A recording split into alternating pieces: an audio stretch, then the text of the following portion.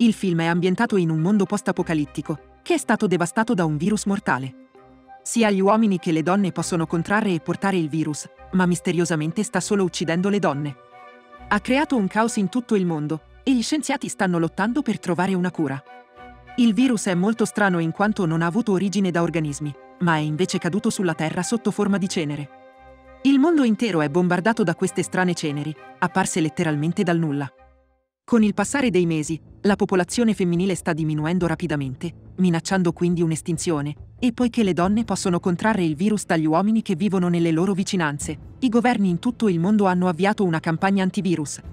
Secondo questa campagna le donne vengono ricollocate in un campo di isolamento con la promessa di tenerle al sicuro, ma in realtà sono costrette ad andare lì, dove su di esse vengono condotti vari test crudeli e dolorosi per scoprire la vera natura del virus. Di conseguenza, le donne sono diventate estremamente rare. Per dare un contesto alla cosa, una grande ricompensa dal valore di milioni di dollari viene assegnata a colui che riesce a catturare una donna viva e consegnarla al governo. Veniamo poi portati in un appartamento in quarantena abitato da un ragazzo di nome William. All'inizio, sembra un qualsiasi altro appartamento, ma presto scopriamo che anche una donna di nome Eva vive lì, che non è altro che la ragazza di William. Si scopre che Eva è riuscita a sopravvivere finora perché Will l'ha nascosta bene dalle autorità, non permettendole di andare fuori o usare il telefono. Anche se è per il suo bene, Will ha uno stretto controllo sulla sua libertà, e ciò ha avuto un impatto negativo sulla loro relazione. Con ogni giorno che passa, Eva si sente sempre più soffocata nel suo appartamento. Lei è disperata nel voler uscire e vuole sentire il sole. Al quattrocentesimo giorno, Eva raggiunge il suo punto di rottura. Indossa di nascosto una tuta ermetica e corre fino al tetto del loro edificio. Subito dopo Will la nota e le corre dietro, ma prima che possa fermarla e riaverla indietro Eva si strappa il vestito e lascia che la cenere la infetti. Per lei, vivere in quarantena e guardare milioni di persone che vengono colpite da un virus misterioso semplicemente non era una vita che voleva vivere. Will alla fine la convince a tornare a casa, ma è chiaro che sono stufi l'uno dell'altra. Eva si toglie la tuta ermetica e si dirige sotto la doccia, mentre Will crolla sul divano. Dopo essersi ripulita dallo sporco, Eva tira fuori un kit e fa un tampone per controllare se ha davvero contratto il virus. Mentre aspettano il risultato, la coppia sente diverse auto della polizia che si presentano fuori casa. È chiaro che la loro casa verrà perquisita, e nonostante la loro recente discussione, Will fa precipitare Eva nella sua stanza e la aiuta a nascondersi nel letto. In seguito, fa entrare i poliziotti in casa. Controllano il posto per un po' e interrogano poi Will sulla sua identità.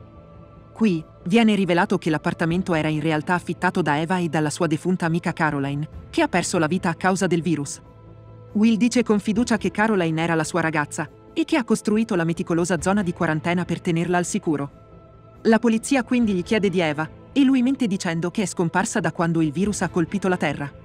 Dopo un po', i poliziotti sono finalmente convinti che non ci siano donne nell'appartamento e iniziano ad andarsene, ma mentre gli uomini armati escono, uno di loro si tira indietro e rivela che sa che Eva è lì con lui. Si scopre che il poliziotto ha visto il test del tampone che Eva ha dimenticato sul tavolo. Il test è positivo, il che significa che la donna ha preso il virus. Tuttavia, ha pietà della coppia e decide di non allertare i suoi colleghi. Prima di partire, dice a Will di godersi i suoi ultimi giorni con lei. Will ha il cuore spezzato, ma è costretto a riprendersi perché l'appartamento non è più sicuro. Inoltre, Eva vuole fuggire dalla città poiché il suo stile di vita appartato e l'isolamento generale l'hanno quasi fatta impazzire. Poco dopo, i due preparano rapidamente le loro cose e abbandonano il loro appartamento. Eva si traveste da uomo e mentre stanno uscendo dalla città, accostano vicino a un negozio. Li vediamo che gli assorbenti sono stati resi gratuiti, siccome non ci sono teoricamente più donne rimaste nel mondo. Mentre Eva cerca di nascosto di prenderli, il commesso del negozio la coglie sul fatto. È colto alla sprovvista nel vedere una donna dopo tanto tempo, e quando Eva inizia a farsi prendere dal panico, Will tira fuori la sua pistola e minaccia l'uomo di tenere la bocca chiusa. Dopo che l'uomo si è sdraiato a terra per arrendersi, la coppia scappa dal negozio. Mentre se ne vanno, il film torna indietro nel tempo, quando tutto era normale. In tv, un canale di notizie riporta che una rara cometa è destinata a compiere un viaggio vicino alla Terra. Nel frattempo, Will si è recentemente trasferito nell'appartamento di Eva dopo anni passati insieme. Un giorno, mentre i due trascorrono del tempo da soli, alcune misteriose sostanze simili alla neve iniziano a cadere dal cielo. La coppia rimane scioccata perché l'inverno è ancora lontano, ma quando sbirciano attraverso la finestra, si rendono conto che è cenere. Proprio in quel momento, la migliore amica di Eva Caroline ritorna a casa ricoperta di cenere. Mentre cerca di dire qualcosa le vengono però le vertigini e crolla a terra. Nel presente, Will ed Eva si fermano in un motel. Lì, notano degli uomini dall'aspetto minaccioso con dei fucili in una delle stanze. Tuttavia, la coppia li ignora e passa la notte nello stesso motel. Il giorno dopo, prima di dirigersi nel bosco, Eva insiste per avere il suo ultimo pasto cucinato in un ristorante. Will accetta con riluttanza e si fermano in un ristorante vicino. Lì, la TV riporta che gli scienziati del Center for Rebirth and Repopulation degli Stati Uniti hanno creato un embrione artificiale. Le ultime prove hanno visto il feto sopravvivere fino a un mese, che è di per sé una conquista storica. Molti leader mondiali hanno elogiato il risultato, in quanto questo potrebbe essere il modo più probabile per ripopolare la Terra una volta che la cura per il virus sarà trovata. La notizia riporta anche che il governo federale ha aumentato la ricompensa per segnalazione o localizzazione di femmine americane vive a 2 milioni di dollari. Mentre tutti sono incollati alla TV, gli uomini minacciosi del motel arrivano alla tavola calda e si esaltano per la notizia. A rendere le cose peggiori per la coppia, Eva inizia improvvisamente a sanguinare dall'orecchio, indicando che la sua morte imminente si sta avvicinando. Quando Will se ne accorge, la fa uscire di corsa dalla tavola calda, senza nemmeno pagare il conto. Sfortunatamente, questo attira l'attenzione di un uomo, Arthur, e suo figlio adolescente Casey. Entrambi notano che Eva è una donna travestita da uomo. Poco dopo, Eva inizia ad avere un'emorragia, spingendo Will a farsi prendere dal panico poiché è la prima fase del ciclo di infezione. Frustrato, inizia a leggere l'intero ciclo a Eva, facendola arrabbiare. Lei ordina quindi di fermare l'auto e poi corre verso dei cespugli vicini. Tuttavia, quando arriva un po' lontano, si stanca e inizia a piangere. Dopo qualche tempo, lei ritorna e la coppia continua il loro viaggio. Presto si avventurano nei boschi alla ricerca della loro destinazione finale, che si rivela essere una cascata segreta. Will è sconvolto dal pensiero di perdere l'amore della sua vita, ma dall'altra parte Eva sta cercando di essere la più allegra possibile, desiderando di sfruttare al meglio i loro ultimi momenti insieme. Il film si sposta ancora una volta al passato, a quando Caroline è svenuta a causa del suo contatto con la cenere. Will ed Eva la portano immediatamente in ospedale, ma viene presto dichiarata morta.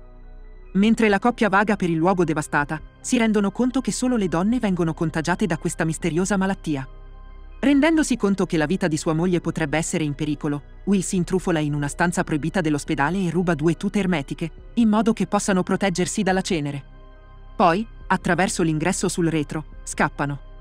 Una volta tornati a casa, chiamano il padre di Eva, Maesh, che si scopre essere un medico. Maesh rivela che anche nella sua città la cenere ha colpito e migliaia di donne sono già morte. Suggerisce quindi alla coppia di preparare una zona di quarantena e Will si mette subito al lavoro. Inizia a mettere in sicurezza la casa con mobili, plastica resistente ai germi e vari altri elementi di sicurezza. Eva è molto disinvolta riguardo alle misure di sicurezza, mentre Will è più serio e attento a tutto. Sta sveglio tutta la notte a far bollire l'acqua e al mattino va al negozio a prendere del cibo confezionato. Installa anche luci ultraviolette intorno alla casa che uccidono gli agenti patogeni e i germi. Inoltre, sta sempre lontano da Eva, sapendo che può trasmetterle la malattia. Passano diversi mesi, ma il virus continua a mietere sempre più vittime. Alla fine, il governo chiede a tutte le donne di andare nelle strutture mediche controllate dal governo per il progetto Embrio, che a quanto pare intende trovare un modo per ripopolare la Terra. Il governo e i media controllati cercano di dipingere un quadro roseo dei centri di detenzione, ma internet è presto inondato di teorie del complotto su orribili esperimenti condotti sulle donne. Perciò, Will si rifiuta di consegnare Eva al governo e costruisce in via precauzionale un letto dove potrà nascondersi dalle autorità. Nel corso dei mesi seguenti, Will diventa estremamente paranoico e una dopo l'altra toglie tutte le libertà di Eva. Le proibisce persino di usare il suo telefono, temendo che il governo li stia ascoltando. Senza nessun altro con cui parlare, Eva si rivolge a un forum online segreto tutto al femminile per avere compagnia. Will cerca di nuovo di impedirle di usare il forum, ma lei si rifiuta di ascoltare poiché le donne sopravvissute nella chat sono il suo unico modo per aver supporto. Sfortunatamente, anche le sopravvissute dentro la chat continuano a diminuire di numero, dando a Eva un senso di disperazione. Nel presente, Will ed Eva camminano per ore, e lungo la strada quest'ultima continua a scattare foto con la sua macchina fotografica. Di notte accendono un fuoco, e si sistemano in un campo. Eva desidera ardentemente dell'intimità e chiede aiuto a Will per toglierle il nastro adesivo che aveva legato al petto per spacciarsi per uomo. Tuttavia, Will è freddo e distante e dopo averla aiutata torna alla sua tenda. Il giorno successivo, continuano il loro viaggio ed Eva continua a provare a rallegrare il suo ragazzo. Will finalmente inizia a illuminarsi e insegna a Eva come sparare. Dall'altra parte, vediamo il duo padre figlio di prima, Arthur e Casey, che guidano nei boschi. Vogliono rivendicare la ricompensa di 2 milioni di dollari catturando Eva, e si scopre che hanno seguito la coppia nella foresta usando la mappa che hanno lasciato al ristorante. Presto, anche i due si avventurano nella foresta armati di fucili. Di notte, Eva e Will tornano a sedersi su un campo, e mentre procedono a fare l'amore lei soffre inaspettatamente di convulsioni. Entrando in azione, Will le accarezza la testa e la aiuta a rilassarsi. Il giorno dopo, Eva si sveglia presto per andare a prendere dell'acqua dal fiume. Tuttavia, quando torna indietro, nota Arthur e Casey che tengono Will legato strettamente contro un albero. Arthur alla fine individua Eva e la insegue, ma lei riesce a fuggire. Rimasti senza scelta, il duo padre-figlio continua a tenere in ostaggio Will nella speranza che Eva torni per il suo bene. Di notte, Casey fa la guardia con un fucile mentre suo padre dorme. Eva pensa a un piano da sola e nel cuore della notte si presenta spogliata, avvicinandosi in modo seducente a Casey. L'adolescente è ancora sconvolto per la morte della sua ragazza e non vedendo una donna da oltre un anno si distrae per la sua bellezza. Questo permette a Eva di metterlo fuori combattimento. Dopo questo, libera Will dall'albero e senza perdere tempo prende il fucile e spara Arthur a morte nella sua tenda. Il film torna quindi al passato ed è il giorno 400 da quando tutto è diventato deprimente. Eva trova diverse chiamate perse da suo padre sul suo telefono. Questo la preoccupa, siccome hanno deciso di non chiamarsi al telefono a causa delle misure di sicurezza. Rendendosi conto che è successo qualcosa di brutto, insiste nel parlare con suo padre, ma Will accetta solo una videochiamata con fotocamera e microfono disabilitati.